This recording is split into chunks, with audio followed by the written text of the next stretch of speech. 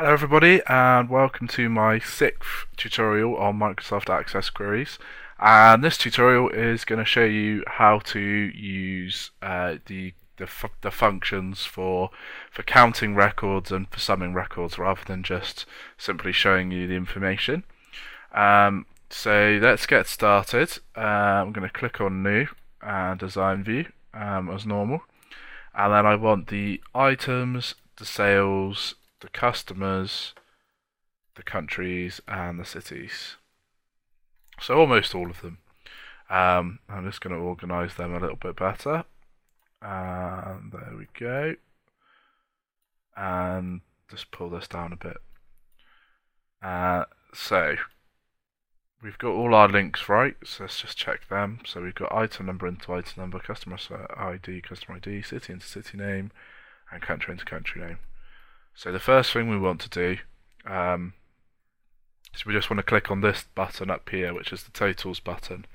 Uh, and this is going to give you an extra row uh, in, of, in here that just lets you manipulate your data in a slightly different way. Um, so the first thing we want to do is we're going to go to a where expression. Um, now, if we put a country name in there, get rid of this one. Um, so put your, your, your field in first. I'm going to change at the moment it's changed by group by, so that's just going to put it as I'm going to group the information by this field. Um, so then I'm going to change this to where. So all all where does is it just switches it from grouping it by the information um, to saying okay only bring data through where currency is your criteria. Um, you notice that it's also turned the show off automatically, um, so you can't show you where um, because it, it just wouldn't make make sense because it's only criteria. Uh, and then we're going to make that the UK because we only want UK information. Well then, for each of our sales, we're going to put um, the uh, customer name, uh, and we're then going to put in the item cost in pounds. Uh, and so this is only going to show the UK, so this is why I've put this criteria in, uh, because if it was shown ones for Europe, then we'd want to use the euros. Uh, I'm going to show you how you can do both later on.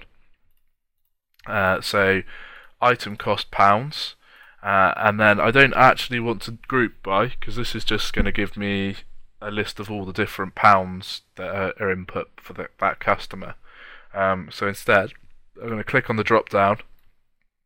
I'm going to click on count to start off with. So this is just going to count how many records there are for each customer that lives in the UK. Uh, and I'm going to run this now.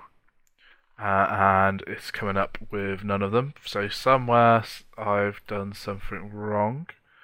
So currency so I've gone for currency rather than country name. So let's just drop that back up. Country name, run that, and then so these are all the UK customers, uh, and this is counting how many times they've they've had a sale.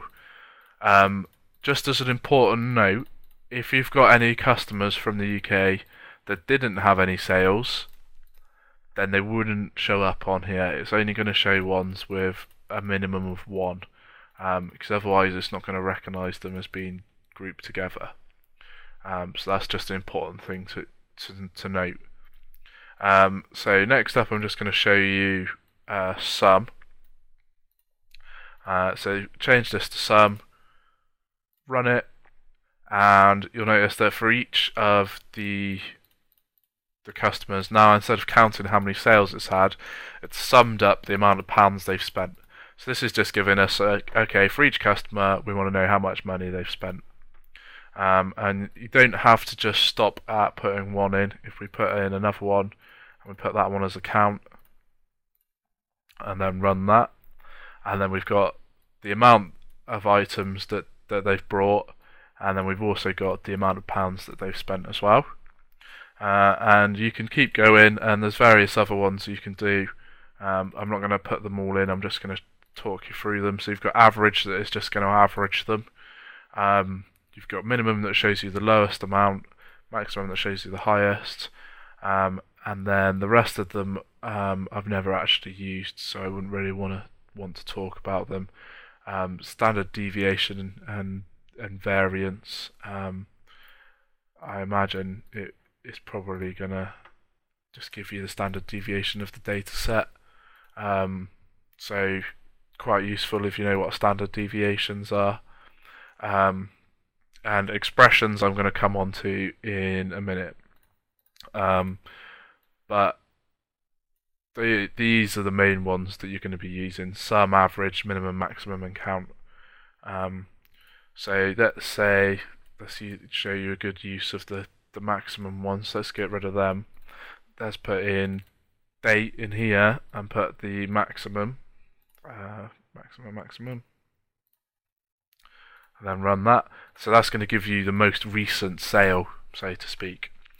Um, so it's all about working out what actual information you want to see, um, and then what what uh, what total you're going to need, and then also how you're going to group it as well.